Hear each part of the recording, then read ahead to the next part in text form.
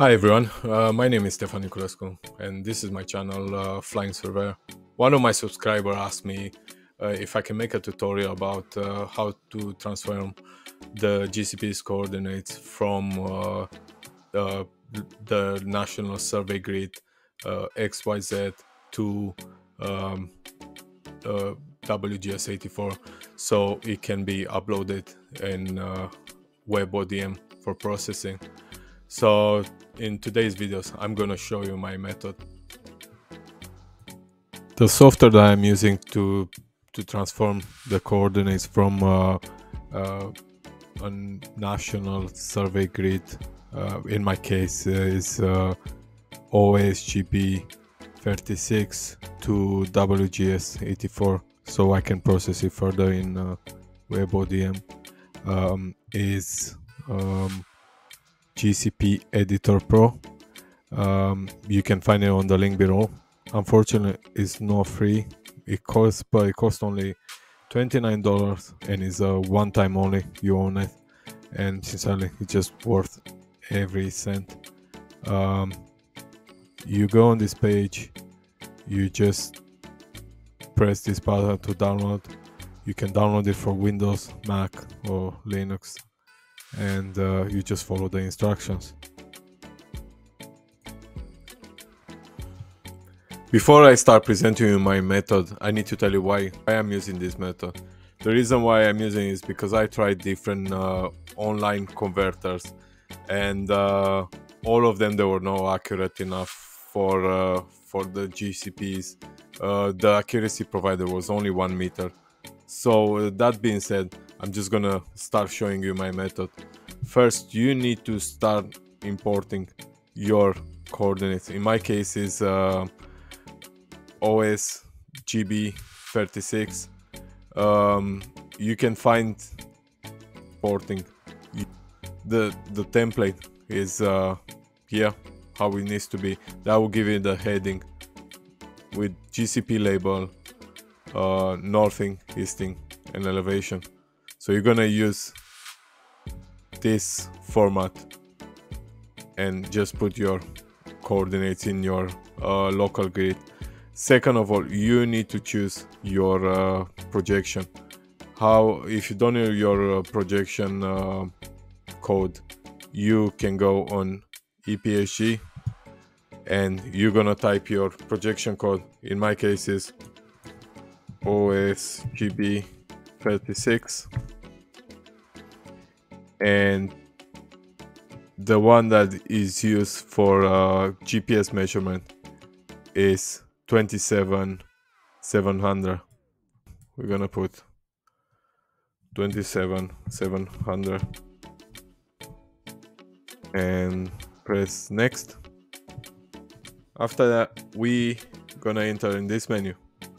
The reason why we're not gonna do it all the GCP conversion in this menu is because the output is going to be also in OSGB 36 and when you're going to try to import it in WebODM it's not going to recognize it and it's going to give you errors. So what we're going to do we're going to click on every GCP individual and then you're going to see the WGS 84 coordinates. So what we're gonna do, you need to go back and you need to download this format. And now we can go to the next step. Click on the first point. Select your latitude.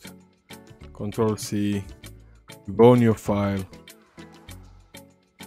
You go on your latitude and you go in the inbox. Control V enter. And longitude select.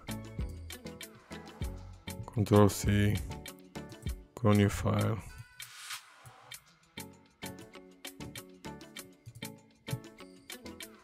V and elevation. Proceed. Back file. Control V. Okay. You put in the up box. Control V. And this is CP01 in my case CP01 and you're gonna repeat the same process with all of them. After that you're gonna save your file and you're gonna import it in WebODM like I show you in my previous video. That's all.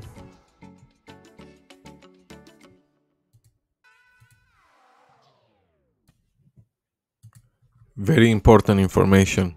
Um, you need to go on select your columns press format cells number and here you need to have 15 digits. Press ok. And now you need to save this as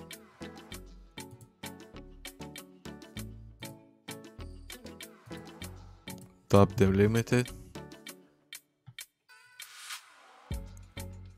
and that's it and now it's good to go. If you enjoyed this tutorial please give it a thumbs up. Don't forget to subscribe and hit the notification bell to stay updated with my latest videos. I have more useful surveying and drone mapping guides coming your way. Leave a comment below if there is any specific topic you would like me to cover next. Thanks for watching and until next time remember to keep mapping